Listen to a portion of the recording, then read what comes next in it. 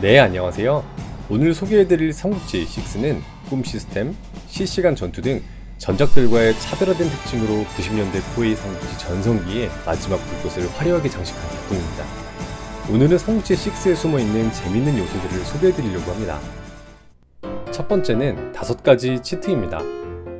먼저 도시의 병력을 해산시켜 백성으로 돌려보내는 치트인데요. 우측 아래 대만 땅을 연속으로 우클릭하면 질문이 나오고 얘를 누르면 됩니다. 군대 유지비도 저렴한데 무엇을 위한 치트인지 궁금하네요. 다음으로는 세력명을 변경하는 치트입니다. 본거지 도시를 연속으로 우클릭하면 세력명을 변경할 수가 있습니다. 직위로 근본도 없는 여포가 시작부터 국호를 가지고 황제가 된 기분을 느끼면서 시작할 수가 있어요. 물론 간지 외에는 아무런 이득이 없습니다. 이제부터는 조금 쓸모가 있는 cheat입니다. 게임 중간에 다른 군주를 선택할 수가 있는데요. 남해와 교지 사이 아래쪽에 위치한 섬을 연속으로 우클릭하면 세력을 선택할 수 있습니다. 최대 8명까지 선택이 가능하고요. 게임 후반 엔딩은 보고 싶은데 적을 몰살시키기 귀찮을 때 이용할 것 같네요. 가장 cheat다운 cheat는 바로 모든 병과를 징병할 수 있는 cheat입니다. 최강 병과인 철기병을 아무 도시에서나 징병할 수가 있어요. 징병 메뉴에서 병가를 연속으로 우클릭하면 됩니다. 단, 남용할 시 게임 난이도와 재미가 반감하니 적당히 사용해 주시는 게 좋겠죠. 마지막으로는 먼치킨 신규 장수를 만드는 치트입니다. 이건 약간 노가다가 필요한데요. 보통 신규 장수를 생성할 때는 능력치에 한계가 존재해서 조조 같은 만능 무장을 만들 수가 없어요. 그런데 100번째로 생성되는 무장은 국토무쌍이라는 장수 타입으로 모든 능력치를 90 이상으로 만들 수 있습니다. 두 번째는 전투 중 장수의 사망입니다. 삼국지 6에서는 전투 중 사망하는 경우가 없는데 7번 부상을 당하게 되면 그 자리에서 바로 전사를 합니다. 사실 한 번의 전투에서 7번이나 부상당할 일이 없기 때문에 건강한 장수를 상대할 때는 보기 힘들지만 중병으로 앓고 있는 장수가 어쩔 수 없이 출진한 경우에는 드물게 전투 중 전사하는 장면을 볼 수 있습니다. 당연히 아군에게도 적용이 되기 때문에 혹시나 아픈 장수가 있다면 충분히 회복시켜주고 출진시켜주세요. 세 번째로 삼국지 6에서는 외교나 이벤트 발생 시 장수들의 조형이 다 똑같습니다. 그러나 단 6명만이 고유 조형을 가지고 있어요. 바로 유비, 관우, 장비, 제갈량, 조조, 주유 6명이죠.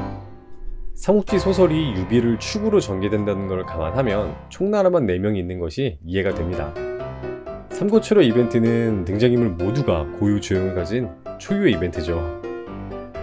위나라, 오나라도 상징적으로 한 명씩 고유 조형은 주었는데 여포의 고유 조형이 없는 게 조금 아쉽네요. 네 번째로 삼국지 6에는 hidden 엔딩이 두 가지가 있습니다. 장수가 모두 사망하여 공백지만 남는 경우, 그리고 2000년이 넘어가는 경우 각각 엔딩이 발생합니다. 통일한 군주가 아무도 없고 모두 수명을 다해 사망했을 때 난세를 풍비한 군주들은 그 꿈을 이루지도 못한 채 그 종족을 감추었다. 그리고 589년 수나라 통일까지 대륙에는 전란의 시대가 계속된다. 라는 메시지가 나오고 게임이 끝납니다. 이거는 1999년에 군주가 사망해도 똑같은 메시지로 마무리가 돼요. 반면 과거 진시황이 그토록 바랬던 영생을 누린 군주가 만약에 있더라도 호이에서는 2000년 이상 살게 두질 않습니다. 무려 5시간에 걸친 노가다 끝에 다다른 1999년인데 2000년이 되면 당신은 열심히 싸웠습니다. 라는 짧은 메시지와 함께 게임이 그냥 끝나버립니다. 이 장면을 보기 위해 쏟은 노력에 비해 허무해서 뭐가 더 있나 이것저것 봐도 아무것도 없습니다. 이게 끝이에요. 마지막으로 삼국지 원작에서 큰 비중을 차지하는 다섯 명의 인물들은 각각 고유 엔딩이 있습니다. 위, 촉, 오를 대표하는 조조, 유비, 손책, 호로자식 여포, 그리고 원소입니다. 이제 각 군주의 엔딩을 끝으로 영상을 마무리하도록 하겠습니다. 오늘도 시청해주셔서 감사합니다.